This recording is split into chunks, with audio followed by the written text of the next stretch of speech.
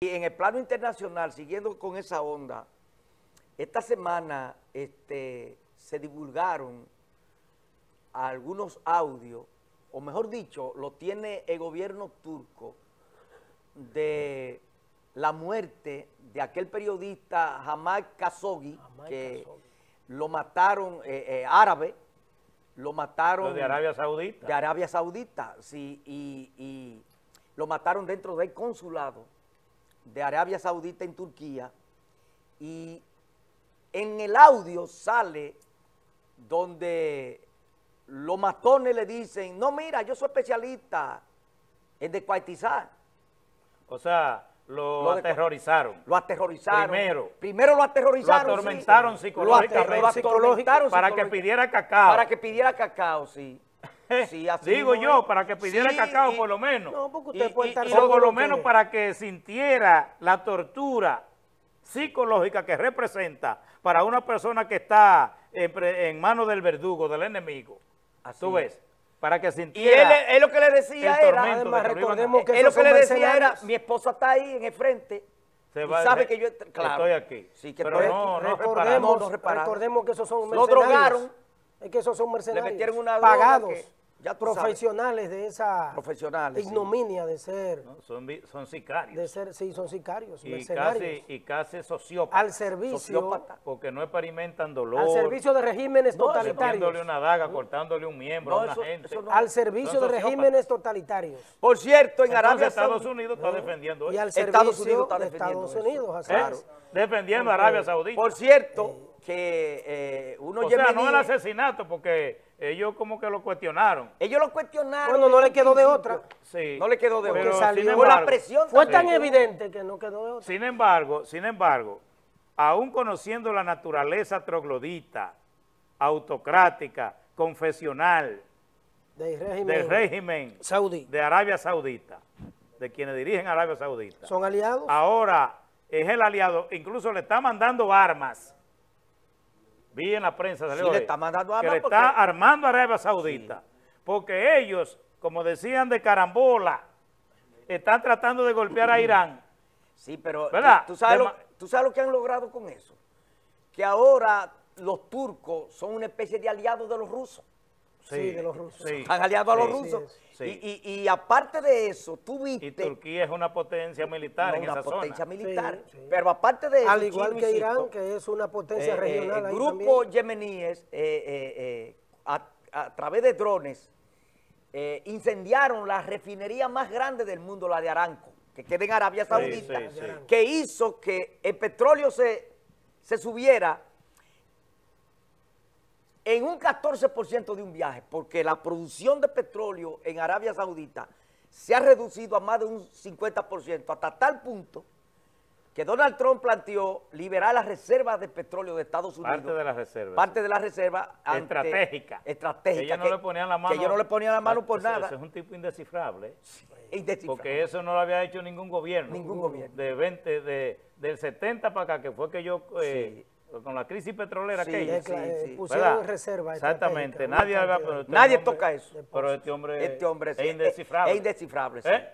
Y déjeme decirle algo, ahora que Chino habla de indescifrable, en política exterior, él ha cometido mucho hierro e incluso le, le renunció John Bolton, el asesor de seguridad nacional, en contradicción con la política que Donald Trump a nivel exterior que está poniendo a Estados Unidos a la defensiva respecto a China. Creen los halcones. Creen los halcones, exactamente, creen los halcones. Sin embargo, para el americano blanco, para el americano que ha visto renacer que fue el sector que llevó a Trump. Que fue el sector que llevó a Trump. Ellos están contentos. claro, porque ese es el sector de ultranacionalista.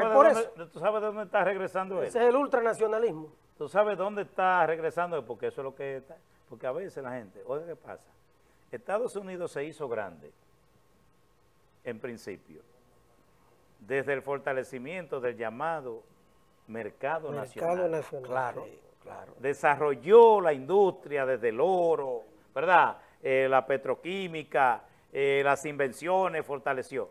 Y entonces, eh, creó un mercado nacional, creó la capacidad para que los obreros, los trabajadores, los profesionales ganaran lo suficiente, Sí. de tal manera que ellos fueran los responsables del dinamismo de la economía Claro, que lo que, norteamericana. lo que los chinos están haciendo. Exacto. China había dependido en su expansión económica del mercado exterior, Sí, ahora ya- está fortaleciendo interno. producción nacional. Entonces, ese proceso que de alguna manera desdibuja o desdice de lo que es la trayectoria después de la Primera y la Segunda Guerra Mundial de los Estados Unidos, en su afán de definirse como imperialismo norteamericano, entonces implicó todas las aventuras guerreristas que el imperialismo puso en marcha, precisamente porque ya el mercado nacional de los Estados Unidos estaba muy por debajo de la capacidad de producción de su economía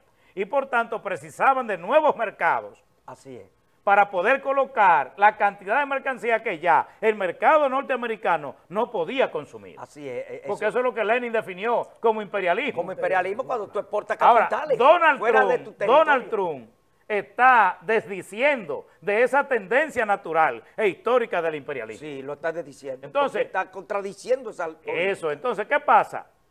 Que aunque Donald Trump es un hombre neoconservador y es racista, es xenófobo, ¿verdad?